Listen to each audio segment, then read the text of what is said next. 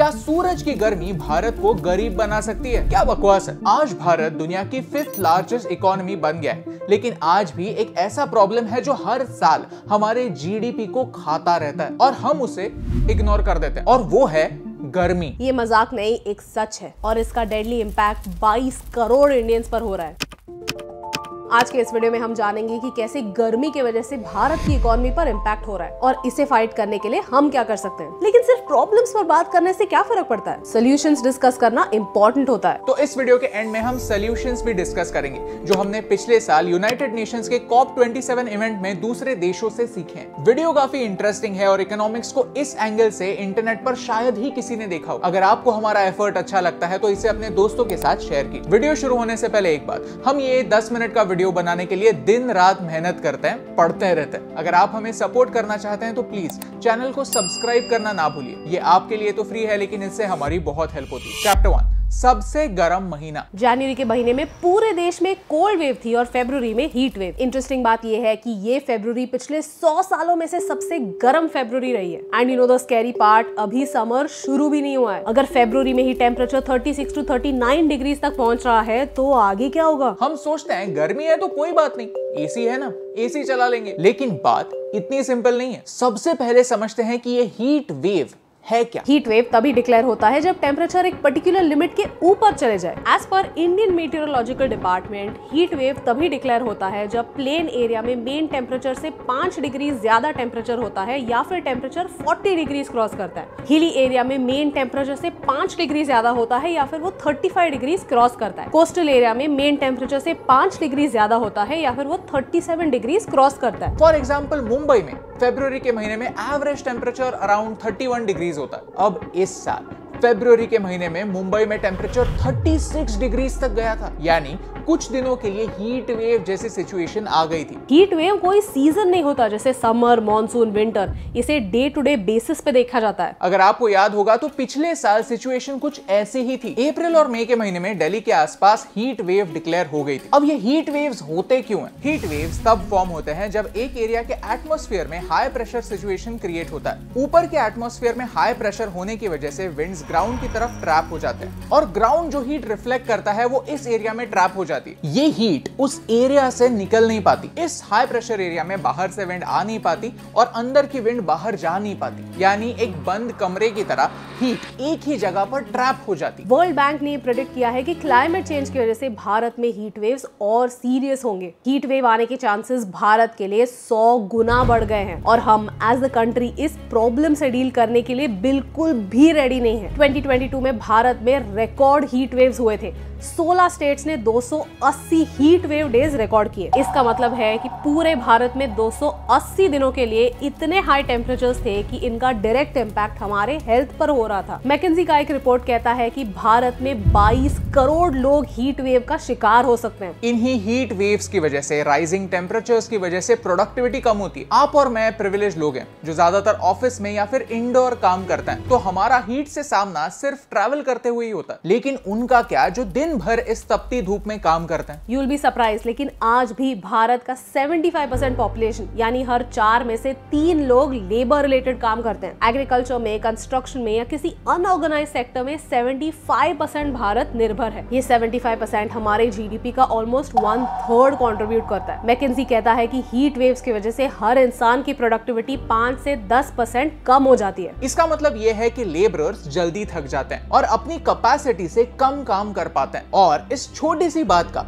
हमारी इकोनॉमी पर एक लार्ज स्केल इम्पैक्ट होता है। कितना? थोड़ा बहुत नहीं up to four and half percent of our G D P that is 126 billion dollars every year to put things in perspective हमारे देश में एक साल में हमारे जीडीपी का सिर्फ़ तीन परसेंट बजट एजुकेशन के लिए एलोकेट होता है। यानी अगर हम हीट वेव से होने वाला ये नुकसान बचा पाए और ये सारे पैसे एजुकेशन को दे पाए तो हर साल हमारा एजुकेशन बजट आज से डबल हो सकता है। सोचिए, इससे हमारे देश में कितनी डेवलपमेंट हो सकती है? हमारे यूथ का कितना भला हो सकता है? ये इकोनॉमी को होने वाला नुकसान कम करके अच्छे कामों के लिए लगाया जा सकता है। क्या आपको लगता है कि ये बातें हमारे लीडर्स जानते नहीं है? ऑफ़ कोर्स जानते हैं। लेकिन एनवायरमेंट हमारी प्रायोरिटी हो तो कोई बात बने चैप्टर टू हीट वेव्स और इकोनॉमी का कनेक्शन जब हम हीट वेव्स की बात करते हैं तो हमारा पर्सपेक्टिव सिर्फ़ एक इंडिविजुअल लेवल पर और हमारी हेल्थ पर होता है। लेकिन एक देश के लिए लिटरली उसके लोगों की health is wealth Germany Switzerland Norway इन देशों में कॉमन क्या है? ये देश कोल्ड कंट्रीज़ यानी ठंडे देश, जहाँ गर्मी ज़्यादा नहीं होती और ये देश दुनिया के रिचेस्ट देशों में से एक। On the other hand African देश दुनिया के सबसे गरीब देशों में से। और ये है हॉट कंट्रीज़ जहाँ गर्मी बहुत ज़्यादा होती है और विंटर्स ना के बराबर। ज़्यादातर रिच देश कोल्ड कंट्रीज़ है with the exception of middle eastern countries यानी गर्मी और वेल्थ का कनेक्शन है। हमारे भारत में 70 करोड़ लोग आज भी एक लेबर इंटेंसिव फ़िज़िकल जॉब करते हैं। यानी उनका काम उनके फ़िज़िकल केपेबिलिटी से लिंक्ड होता है। ये लिंक देश की इकोनॉमी के लिए क्रूशल है। चले देखते हैं कि अलग अलग सेक्टर्स में हीट वेव से एग्जैक्टली exactly कितना नुकसान होता है। नंबर वन एग्रीकल्चर एग्रीकल्चर में सारा काम आउटडोर्स में ही होता है। वीट ये क्रॉप अप्रैल मई में हार्वेस्ट होना शुरू होता है। 2022 में हीट वेव्स के कारण वीट का आउटपुट जो 110 मिलियन टन होने वाला था वो कुछ 103 मिलियन टन हुआ, जिसकी वजह से प्राइसेस शार्पली बढ़े। और भारत जितना वीट एक्सपोर्ट करना चाहता था, वो उतना नहीं कर पाया। हीट वेव्स के कारण क्रॉप लॉस और क्रॉप डैमेज होता है, जिसका डायरेक्ट इम्पैक्ट इन्फ्लेशन पर होता है। क्योंकि जब क्रॉप लॉस होता है, तब महँगाई बढ़ती है। इंटरनेशनल लेबर ऑर्गेनाइजेशन कहता है कि 2030 तक गर्मी के वजह से भारत के एग्रीकल्चर सेक्टर में 9 परसेंट प्रोडक्टिविटी लॉस होगा। यानी लोग चाह कर भी काम नहीं कर पाएँगे क्योंकि गर्मी इतनी ज़्यादा है। नंबर टू फार्मास्यूटिकल्स भारत को फार्मेसी ऑफ़ द वर्ल्ड बनना है। एंड इन सम सेंस हम वो ऑलरेडी हैं। क्योंकि हम पूरी दुनिया के लिए जेनेरिक ड्रग्स मैन्युफैक्चर करते हैं। लेकिन हम हर साल 20 परसेंट मेडिकल इक्विपमेंट खो देते हैं। क्योंकि ये टेम्परेचर सेंसिटिव होती है। 25 परसेंट वैक्सीन वेस्ट हो जाते हैं क्योंकि प्रॉपर कोल्ड चेन्स नहीं है। देश में टेम्परेचर लगातार बढ़ते जा रहे हैं। ट्रांसपोर्ट में अगर एक भी जगह टेम्परेचर मेंटेन नहीं हुआ तो प्रोडक्ट वेस्ट हो जाता है। इन सब मेडिकल लॉसेस का इकोनॉमिक इंपैक्ट है 313 million dollars that is huge number three construction construction sector Bharat के टॉप एम्प्लॉयर्स में से एक है। लेकिन इस सेक्टर में most of the employees have to work outdoors in the heat अगर हीट के कारण लोग काम नहीं कर पाए तो प्रोजेक्ट्स में डीले हो सकता है एंड लॉसेस बढ़ सकते हैं। इंटरनेशनल लेबर ऑर्गेनाइजेशन का रिपोर्ट कहता है कि कंस्ट्रक्शन में भी 9 परसेंट प्रोडक्टिविटी लॉसेस के चांसेस हैं 2030 तक। हीट वेव्स का एक और सेक्टर पर डीप इम्पैक्ट है और वो है इलेक्ट्रिसिटी सेक्टर क्योंकि जैसे ही हीट बढ़ता है, वैसे ही पावर का डिमांड बढ़ता है। सिर्फ़ पावर का ही नहीं कूलिंग का भी डिमांड बढ़ता है। 2050 तक 50 percent of the electricity demand सिर्फ़ कूलिंग के लिए होगी। एंड क्योंकि हम, हमारा पावर आज भी मेजरली कोल से बनाते हैं ज़्यादा पावर जनरेट करने में हम ज़्यादा ग्रीन हाउस गैसेस रिलीज़ करेंगे, जिससे ग्लोबल वार्मिंग और बढ़ेगा और हीट वेव भी। And number four heat wave का इम्पैक्ट आपकी जेब पर भी होता है। कैसे? क्योंकि गर्मी से इन्फ्लेशन बढ़ता है। इन्फ्लेशन यानी महँगाई। रोज़मर्रा की चीज़ें महँगी होती जाती चलिए डेटा देखते हैं। वीट यानी गेहूँ हमारे डाइट का एक इम्पोर्टेंट हिस्सा बन गया है। हमारा नेशनल सैंपल सर्वे कहता है कि भारत में 10 में से 8 इंसान वीट या वीट रिलेटेड प्रोडक्ट्स कंज्यूम करते हैं। और तो और इसी से ब्रेड बिस्किट पास्ता जैसे प्रोडक्ट्स बनते हैं। सीपीआई यानी consumer price index inflation measure करता है। पंजाब एक लीडिंग वीट प्रोड्यूसिंग स्टेट है। पिछले साल पंजाब में टेम्परेचर एवरेज से चार से पाँच डिग्री ज़्यादा था। इसकी वजह से आउटपुट पाँच मिलियन मेट्रिक टन से कम हुआ। आउटपुट घटा तो प्राइसेस बढ़े। और इसका इम्पैक्ट आपकी जेब पर हुआ। और ये बस एक सीरियल की बात है। वेजिटेबल पल्सेस फ्रूट्स इन सब पर गर्मी का इम्पैक्ट होता है। This heat is burning a hole in your pocket chapter three तो हम क्या कर सकते हैं? हीट वेव्स एक रियलिटी बनने वाला है। एक्चुअली बन चुका है। स्टडीज़ को छोड़िए, घर के बाहर देखिए, सच सामने आ जाएगा। तो हमें इंडिया को अडेप्ट करना होगा। एज अ कंट्री हमें रिएक्टिव नहीं प्रोएक्टिव बनना होगा। हीट स्ट्रोक्स एक सीरियस मेडिकल कंडीशन है। 2015 में 2422 लोगों ने हीट स्ट्रोक की वजह से अपनी जान गंवाई। According to the government heat wave के दौरान 12 से 4 के बीच में बाहर जाना अवॉइड करना चाहिए। लेकिन क्या एक किसान को या एक कंस्ट्रक्शन वर्कर को ये प्रिविलेज है? नहीं राइट सरकार एक सिंपल स्टेप ले सकती है फुटपाथ को रूफ टॉप से कवर करे बेंचेस पर रूफ टॉप बनाए। अक्सर हम गाँव में देखते हैं कि लोग पेड़ों के नीचे बैठकर खाना खाते हैं। क्यों?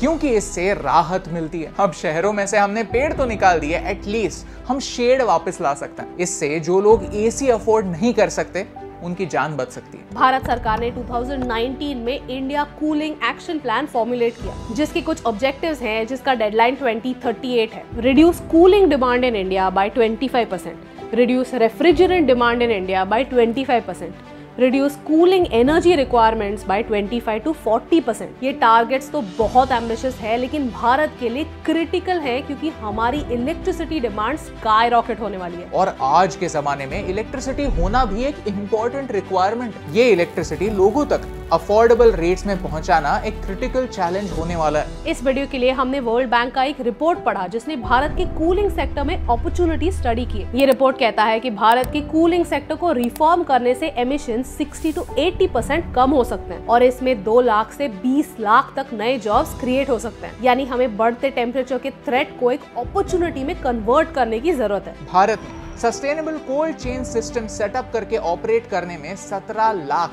नए जॉब्स का पोटेंशियल है। भारत आज एक ऐसे स्टेज पर है कि अगर हमने आज सही स्टेप्स लिए तो हम हमारी जनता को एक अफोर्डेबल रेट में कूलिंग प्रोवाइड कर सकते हैं। हीट वेव्स के बारे में स्टडी करते समय एक इम्पोर्टेंट और इंटरेस्टिंग चीज़ सामने आई urban heat islands urban heat islands का मतलब है जब एक अर्बन एरिया का टेम्परेचर सराउंडिंग रूरल एरिया से ज़्यादा है। नासा के इको स्ट्रेस इंस्ट्रूमेंट ने एनसीआर रीजन में नोटिस किया कि कुछ पॉकेट सराउंडिंग एरिया से बहुत ज़्यादा गर्म थे। ये अर्बन हीट आइलैंड्स रात को भी कूल डाउन नहीं होते थे। दिल्ली में टेम्परेचर 35 टू 39 डिग्रीज था लेकिन आसपास के रूरल एरियाज़ में रात को टेम्परेचर 15 डिग्रीज तक कम हो गया था। भारत रैपिडली अर्बनाइज हो रहा है और जैसे नए शहर बनते जा रहे हैं वैसे ही अर्बन हीट सिंक्स भी बनते जा रहे हैं। ये अर्बन हीट सिंक्स बनते हैं क्योंकि हमारे शहर कम्प्लीटली कॉन्क्रीट के जंगल है। यहाँ पेड़ पौधों से ज़्यादा कॉन्क्रीट के बिल्डिंग्स और रोड्स हैं। रूरल एरियाज़ में क्रॉप्स ट्रीज प्लांट्स होते हैं जो मिट्टी से पानी खींच लेते हैं और पानी उनकी लीव्स तक पहुँचता है और वहाँ से इवेपोरेट हो जाता है। इसे कहते हैं ट्रांसपिरेशन जो एक नेचुरल एसी की तरह काम करता है। अर्बन हीट आइलैंड एक कारण है जिससे भारत में हीट वेव्स का प्रॉब्लम और इंटेंसिफाई होने वाला है। तो इन अर्बन हीट आइलैंड्स को काउंटर कैसे करें? हीट आइलैंड्स को काउंटर करने का एक सिंपल तरीका है कि सिटीज़ में ग्रीनरी बढ़ाओ। हम अर्बन कूलिंग के लिए एक प्राइम रियल एस्टेट को इग्नोर कर रहे हैं और वो है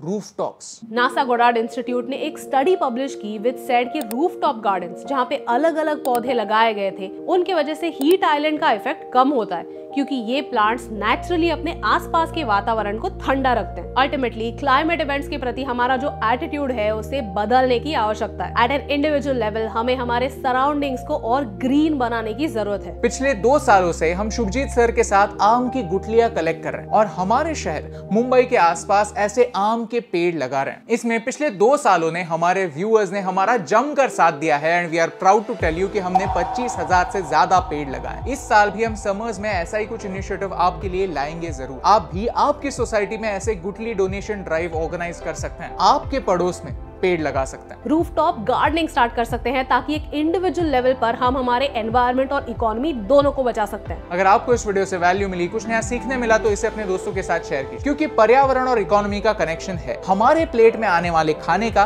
और बढ़ती गर्मी का कनेक्शन है। और ये कनेक्शन अगली पीढ़ी तक पहुंचाना ज़रूरी है, ताकि हमारे पास जो है, हम उसे अप्रिशिएट कर पाए और मोस्ट इंपॉर्टेंटली प्रिजर्व कर पाए। और यही इंपॉर्टेंट बात, आप तक पहुँचाने से मुझे फ़र्क पड़ता है।